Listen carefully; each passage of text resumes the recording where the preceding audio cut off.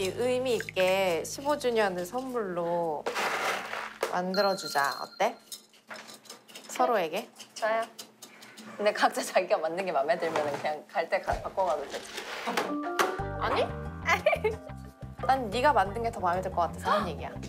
나도 내가 만든 게 마음에 들면 어떡해. 아 일단 일단 그냥 맘대로 만들어 보자. 어때? 이거 써도 돼. 그래도 서로의 감성이 있을 수 있으니까. 오케이. 음... 매니저랑 아티스트랑 없어졌냐 그 컨셉. 우리가 보다 보니까 브이로그 같지 않냐? 저희가 이 스케줄 안 할 때는 정말 언니 동생 하면서 편하게 지내는 그렇다 진짜 말투? 왜또 아니 말투 왜 그러세요? 아니 꽁투 안 하면 죽는 병이라도 걸리신 건 아닌가요? 이 정도면 못 견디겠어요. 점이 쓰셔가지고 어, 뭐 그래가지고 어색해요. 아 진짜 웃겨. 예삐랑 뚜삐.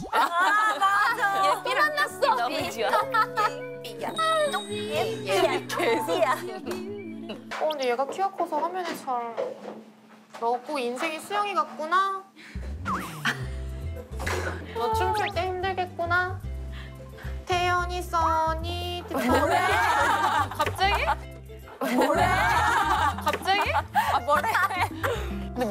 진짜 그렇게 멤버들이 떠오르지 맞아. 않냐? 맞아 맞아. 그치? 약간 맞아. 뭔가 소품을 봐도 멤버들이 이렇게 떠오르는 맞아. 그래. 오늘 저와의 일정 어떠셨나요? 음, 오늘 비도 정말 많이 오는데 어, 좀 졸렸거든요.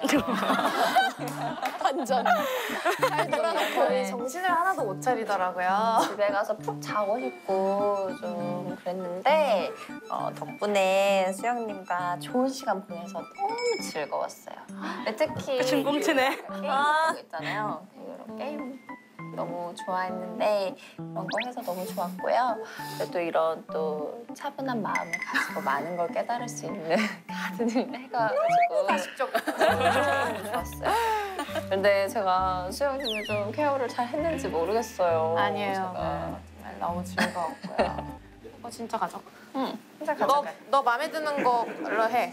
마음에 드는 걸로 해. 제가 만든 거예요. 당연히 제가 만든 거예요. 지가 지거 가져가겠대요. 너 마음에 드는 걸로 해, 랬더니.